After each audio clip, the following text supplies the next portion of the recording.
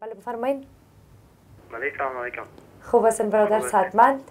سلامت باشید سلام خدمت شما خدمت مهمان محترمتان قیصر از مسکات چهار به تماس عزیزان خوش آمدین به برنامه ما م- موضوع رو خیلی انشالله گرفتین پرسش دارین یا یکی نظری رای می‌کنین. بله آقا یک پرسش از جناب مهمان ما داشتیم که چه قسم ما می‌دانیم چه قسم زندگی کنیم تا و کدام شیوه که می زندگی ما راحت داشته باشیم و یک زندگی خالی از جنجال داشته باشیم. خب استاد شما پرسش دارین از بیننده ما؟ اه، پرسشان نگرفتم انشالله با پاسخش می‌پردازیم. تشکر قیس جان برتان برادر ما البته استاد اه، معلوماتی رای می‌کنن. وقت خودش خدا نگهدار. میروانی استاد. خب این سوال جالب است. یعنی بدون شک دور شدن از سختی ها و مشکلات در زندگی امکان نداره. یعنی در هر حالتش انسان در سختی زندگی و هم با مشکلات است. بله بله. بدون شک. اما چی می‌تونه انسان آرام نگاه بکنه؟ روان آرام و فکر آرام می‌تونه بدون شک سختی های مشکلاتی که در زندگی سر ما میایه او را یک اندازه فشار شده.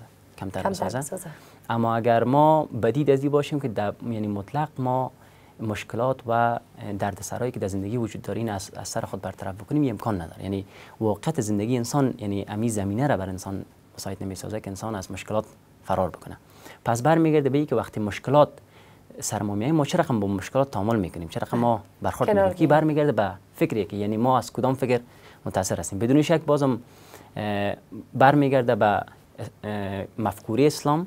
اسلام عزیز یعنی وقتی ما افکار و مفاهیم اسلامی را داشته باشیم در مقابل حوادث و حالاتی که در زندگی سر ما می‌تونیم یعنی موقف دقیق اتخاذ بکنیم. یعنی یعنی بسیار زیاد مشکل است که ما بگوییم که حوادث وقتی میایه یعنی از راه حوادث چگونه خود دور بسازیم.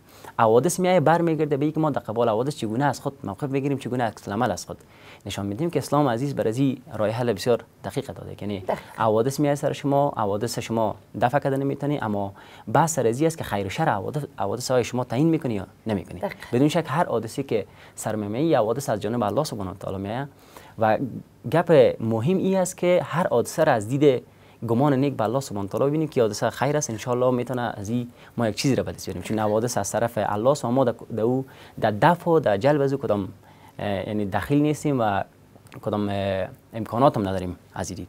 پس مهم این است که ما چگونه می‌تونیم در مقابلش موقف بگیریم و از دید فکری خود آرام بسازیم آه، بحث بله. فکر بسیار زیاد مهم است مهم است اینکه چگونه ما فکر می‌کنیم زندگی خود همان گونه خود ما بله. رقم می‌زنیم